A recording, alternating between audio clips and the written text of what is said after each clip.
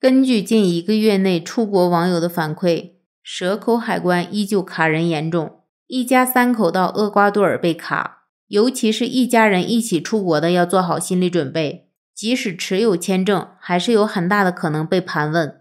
第一关是航空公司的盘问，主要问题是你如何获取出国信息的，国外有没有人接应，你到那边做什么，什么时候回来，要求返程机票等。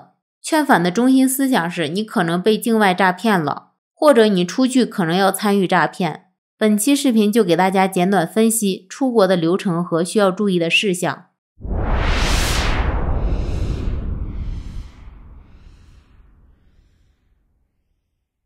出国其实就是一趟说走就走的旅行，要有断舍离的精神。今天我们讲的出国是那种去海外定居。短的是获得永久居留，俗称绿卡；长的是入籍其他国家，短则三五年无法回国，长则终身在海外定居。说到断舍离，是真的，即使这个国家离我们很近，由于文化问题、海关问题，我们几乎也很难把整个家搬走。我们出国的过程就是扔扔扔，卖卖卖。在有出国想法的时候，尽量少买东西，多卖东西。趁着你还在国内，多多的送给朋友。准备好所有证件，一般是护照和签证。如果单人带孩子，还要带好委托书和孩子的出生证明。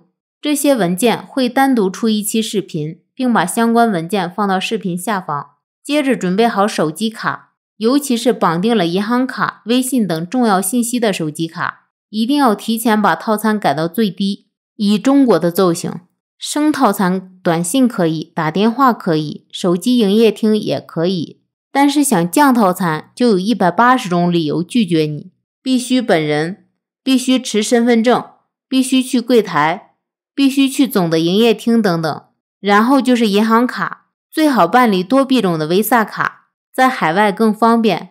无犯罪证明办理签证，大多数国家都需要。看看银行卡的有效期。如果过期了，一定要准备好提前更换。最后一个就是，如果在国内有驾驶执照，以后还有回国打算，一定要换成新的驾驶执照。文件准备好，就要准备生活用品。衣服根据当地气候天气来定，十度左右穿长袖，零度左右穿毛衣，零度以下穿棉袄，十八度以上穿半袖，三十度以上光膀子，四十度以上不愿意裸奔就慎重考虑。其他生活用品根据目的国环境和气候准备，简单的准备药品、鞋子、腰带等。准备好这些东西以后就要出发了。第一步是买机票，机票可以在中国那些机票 APP 上购买。去哪儿？飞猪、携程、同程等。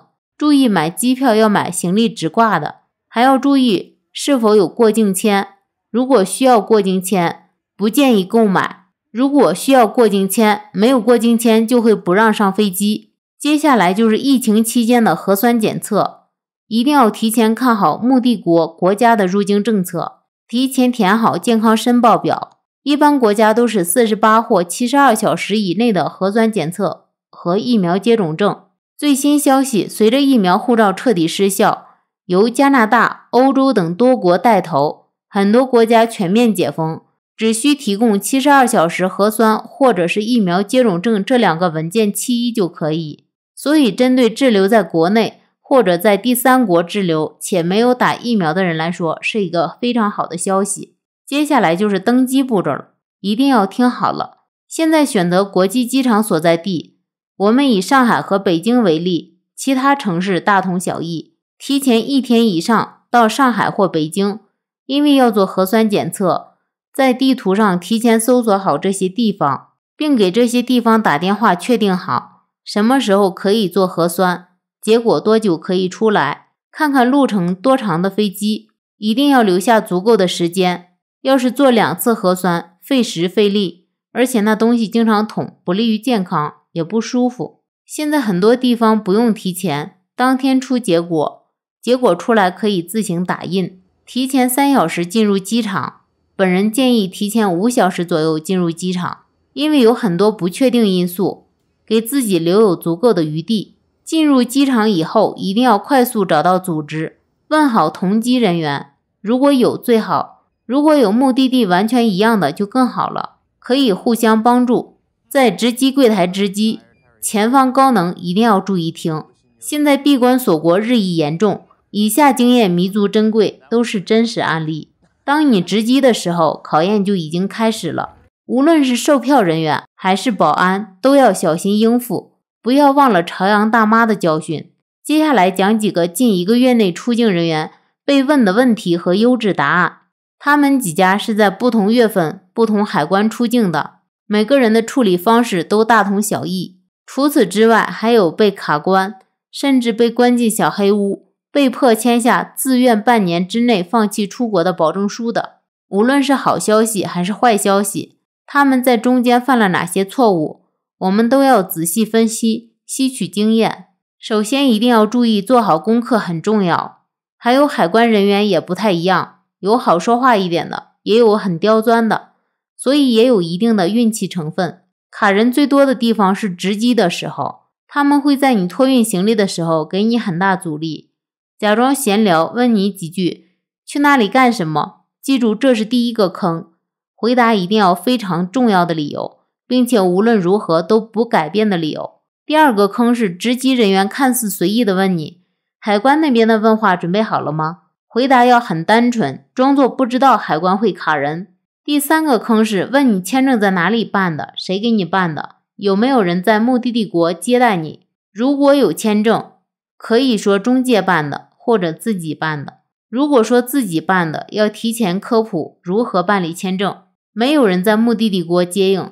如果说有，他会问你一大堆接应你的人的信息，甚至核实，然后引到你可能被境外诈骗的圈套里。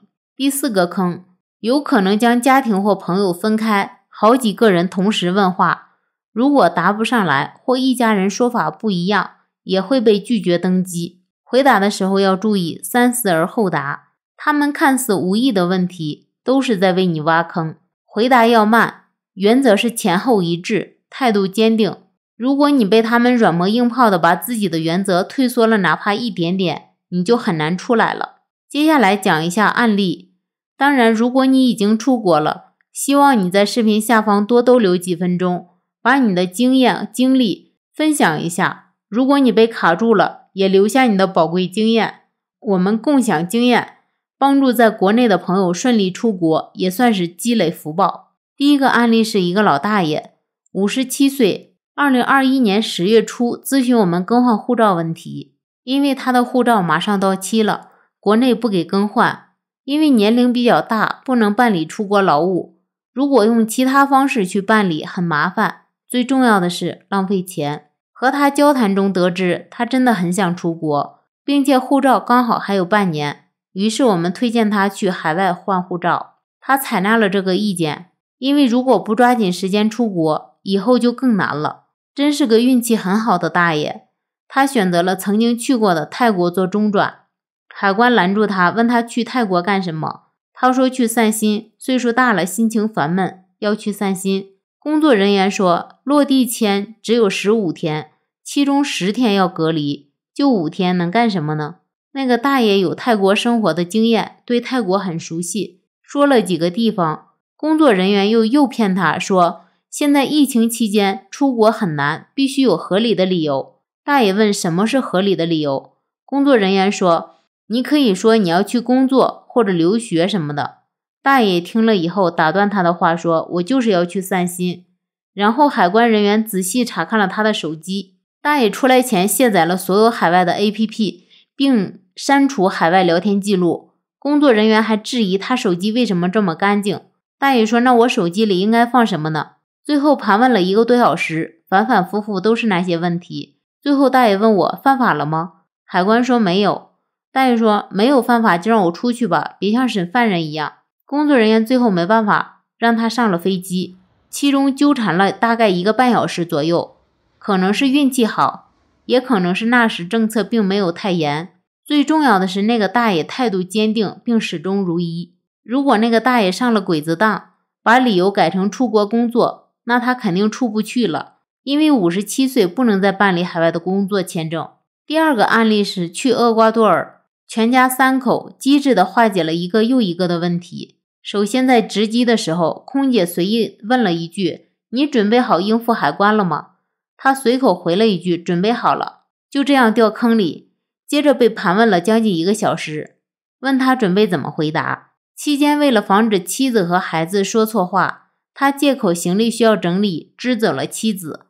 还好妻子足够机智，于是问话变成了一个人，这就防止了对不上的情况。接下来问去那里干什么，有没有人接应？问的时候会冷不丁的问之前问过的问题，只要你回答和上次不一样，他们就会拒绝你上飞机。一定要仔细端详他的每一个问题，慢慢回答。他回答的是没有人接应，所有签证都是自己办理的。出国就是想到海外定居。问你的工作单位是哪里的？他虽然有正式单位，但是很机智的回答说自由职业者。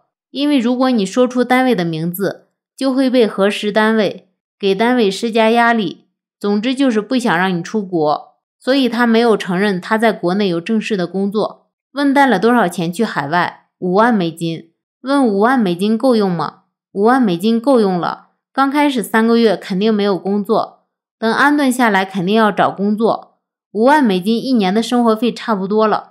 最后盘问了很多，由于当事人精神高度紧张，很多问题过了好几天依然记得很清晰。在出国的最后一步被吓唬了一下。在这里恭喜这位小哥进入自由的世界。这种靠着强权来欺负人的事情不再发生，祝他好运。第三个是九九年出生的小伙，同航班的还有几个人，当然最后那几个人没有能上飞机。这个小伙子自己一个人，没有同行的朋友，有签证出海关。他提前看了攻略，做足了准备，办理了签证和其他杂七杂八的手续。本来难度不大，但在机场认识了一个没有签证的人。厄瓜多尔属于免签国。那个人初生牛犊不怕虎，最终被拦下了。小伙子出于好心，说那个人是自己的姐姐，试图用自己的签证帮那个没有签证的人出关。结果自己被盘问了好几个小时，最后放行。由于在机场刚刚认识，不知道对方的详细信息，没有对上说的话，那个人没能上飞机。其实每趟飞机都要拦住几个人，来证明他们的权威和支持国家的政策。他们只是想以此向上级摇尾巴求夸奖，但对其他人造成了无法弥补的经济损失和精神困扰，这也是没有办法的，也是大多数人逃离的主要原因。第四个家庭是在厄瓜多尔生活很多年的餐饮老板，疫情前回去探亲访友，被拦在墙里，最后出示了他们在厄瓜多尔生下孩子的出生证明以及餐饮的营业执照才出来。第五个案例是在一月中旬。在杭州萧山出海关，一家三口顺利出境，海关也盘问了近一个小时。因为提前做了充足的准备，并做了回程机票，这个方法很棒，防止这条路被堵死。真正需要的人可以私信我免费咨询。过海关时，开始进行物品申报。一般如果没有贵重物品或者现金没有超过国家规定的五千美金等值货币，不用申报。不要带生物及生物制品，过了海关就能上飞机了。过完海关被卡的概率不到万分之一，上飞机以后就可以好好享受你的旅程了。这个时候你可以安心的看看目的地的攻略，这里攻略可以用飞机上的 WiFi 或者离线下载好的数据，简单学几句当地的语言。下飞机出海关的时候可能会用到。订好目的地酒店，快到终点的时候，空姐会发一个单子。在飞机上填好，出海关会省去很多麻烦。到目的地机场，先看核酸检测报告，然后去提行李，然后出机场。如果没有人接，要打当地官方的出租车。上车前讲好价格，下车先取行李后付钱。原谅我的文笔并不生动形象，但如果你想出国，一定会用得到。我会持续更新最新的出境信息。如果你刚好需要。切记点击视频下方的小铃铛。另外，感谢这些案例后面的真实人物，感恩遇见，感恩你们愿意无私的分享。让墙越来越高的时候，我们仍然能找到缝隙。只要看我们视频的人能多的顺利出来一个人，也算是有收获。好了，感谢点赞、订阅并分享，我们下期再见。